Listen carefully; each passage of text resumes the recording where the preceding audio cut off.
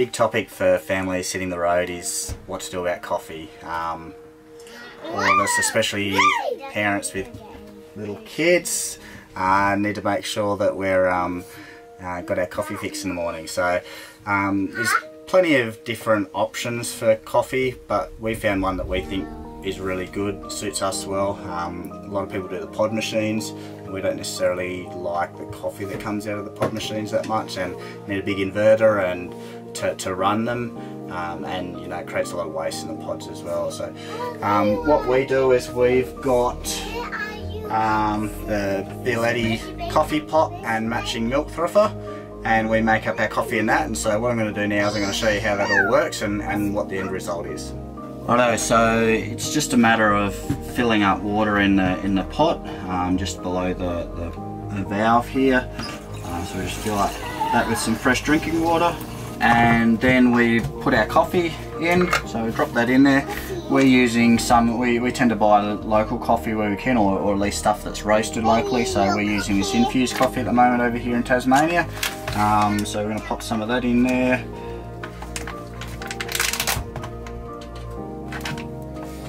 Smells good. We found uh, when we bought this coffee, we um, found one of those grocery stores that has the old grinder actually in the in the shop. So uh, in the in the grocery store. So we actually ground this. It was beans originally, but we ground it in the shop. So um, I'm not sure how we've gone with the, the fineness of it, but uh, it'll be good either way. So once you've got the coffee in there, you've got your water in there, it's just a matter of just winding the top on, popping it on the stove and starting the stove up. And then we need to pop some milk in our milk frother to warm that up. Do an experiment to find out how much milk you need, but you sort of get used to it after a while. And pop that on as well. And we find if both go on at about the same time, they are both ready at the same time as well. The milk goes on low, obviously, so that it doesn't um, doesn't boil or, or burn the bottom. There is that coffee just bubbling out the top there.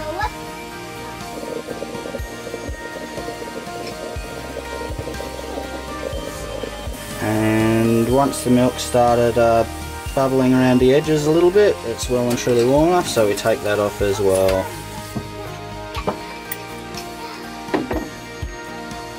Righto, so everything's ready. That whole process of, of warming the milk and, and um, getting the coffee ready only takes couple of minutes at most. It's quite quick, especially on the gas cooktop. Um, so now we've got our warm milk, we've got our, our plunger which, which froths the milk, so we're going to pop that in there now. And it's just a matter of just sending that plunger up and down a few times. And what you end up with is gorgeous milk froth. So you can see here, we've got really nice frothy milk.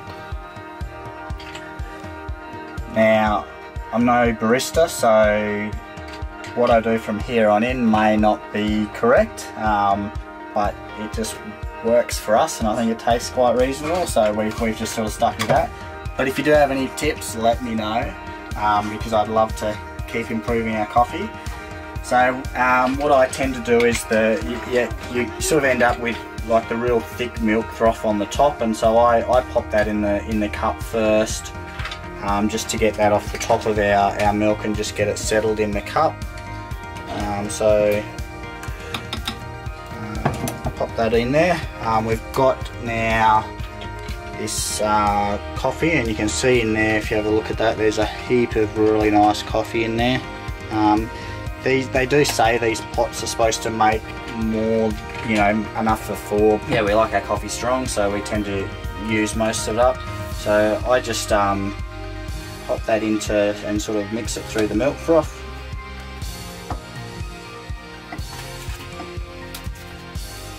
We have cappuccino, so we've got some um, chocolate to go on top. Um, need a bit of a chocolate fix every day as well as a coffee fix. So that in.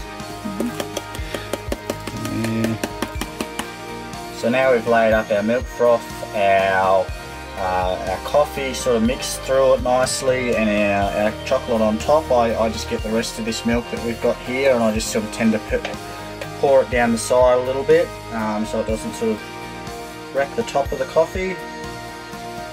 You see there, there's that nice sort of milk frothy top coming up.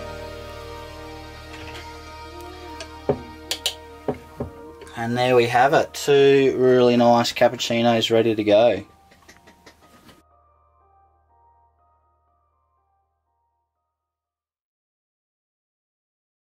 Mmm, so good.